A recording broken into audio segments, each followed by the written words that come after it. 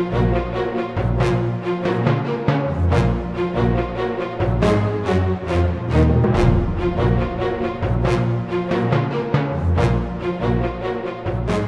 loss of the British destroyer HMS Sheffield on the 4th of May 1982 came as a great shock to the British people during the early stages of the Falklands War. She was struck by a French manufactured Exocet AM 39 missile launched from an Argentine Navy super étendard jet fighter. Twenty crew aboard the Sheffield were killed in the attack. The Argentines were desperate to sink one of the two British aircraft carriers supporting the task force sent to liberate the islands that Argentina had invaded on the 2nd of April 1982. The Sheffield was one of dozens of smaller warships that protected the big carriers. Britain was at a disadvantage in attempting to recapture the Falkland Islands.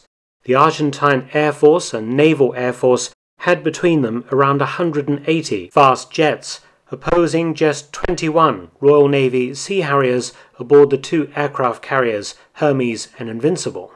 Without both carriers remaining intact, the entire operation, codenamed Corporate, would be doomed to failure as insufficient Sea Harriers would be available to achieve air superiority over the landing beaches and naval anchorages around the Falklands.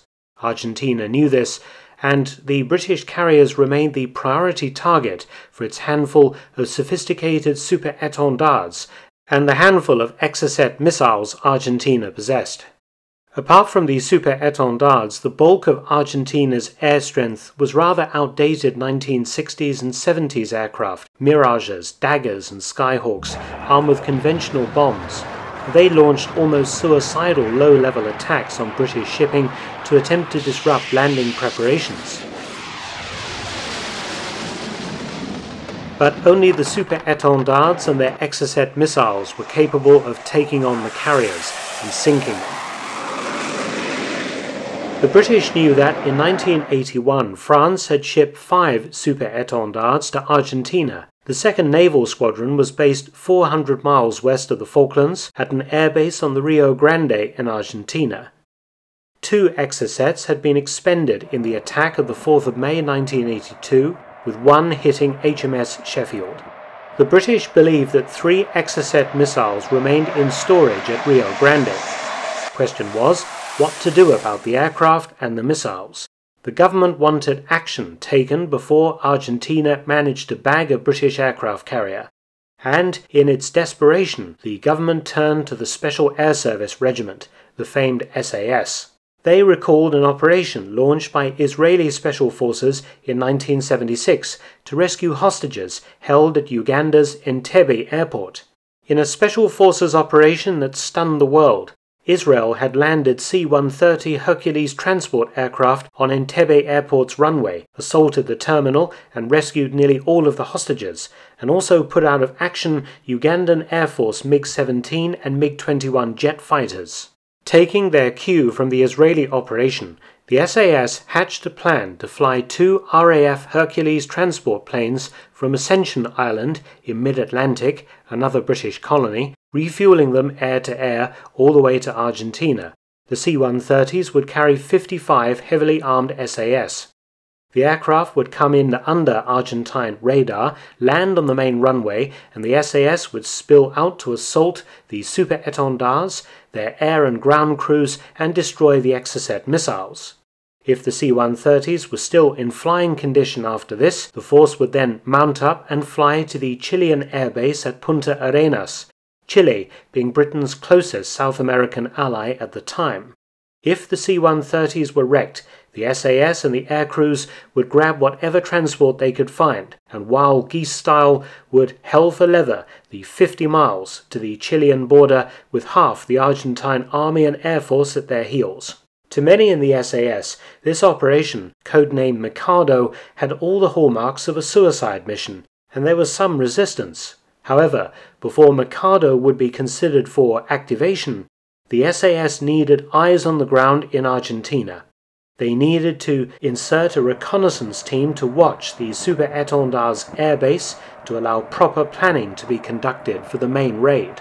But this would be no mean feat. How could an eight man SAS patrol be inserted 400 miles from the Falklands without the Argentinians finding out?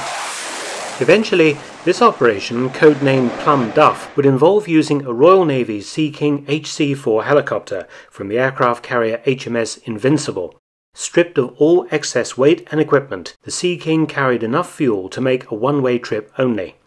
The plan was simple. The Sea King, with a crew of three, would lift off from the Invincible carrying the 8 SAS, fly to Argentina, drop the SAS off close to Rio Grande, then fly into Chile, where the crew would dispose of the helicopter by sinking it just off the coast, after which they would make their way to the British Embassy.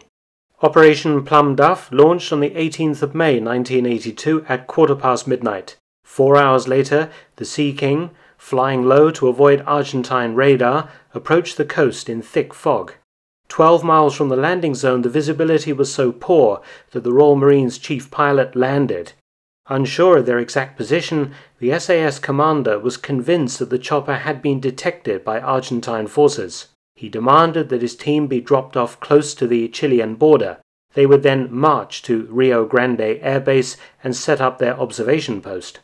After dropping off the SAS patrol, the Sea King flew onto a beach near Punta Arenas in Chile, landed, and the crew punched holes in the aircraft preparatory to ditching it in deep water.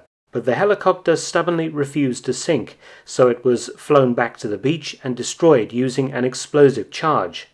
The three crewmen now made their way on foot over several nights, trying to reach a British diplomatic post. Captain Andy Legg, the SAS patrol commander, had decided that his team was compromised and aborted Plum Duff, marching into Chile. The aircrew in the SAS were picked up by Chilean troops and briefly detained, before being released to British diplomats. With the failure of Plum Duff, Operation Mikado was also cancelled. But just seven days later, the Super Étendard struck again. Two Exocet missiles were decoyed away from the carriers and struck the valuable cargo ship Atlantic Conveyor, which was loaded with helicopters and stores. But ultimately, the Argentines never managed to get near one of the British aircraft carriers, and the war finished before Argentina could mount another Exocet attack with its remaining missile. Thanks for watching. Please subscribe and share, and also support my channel PayPal and Patreon. Details in the description box below.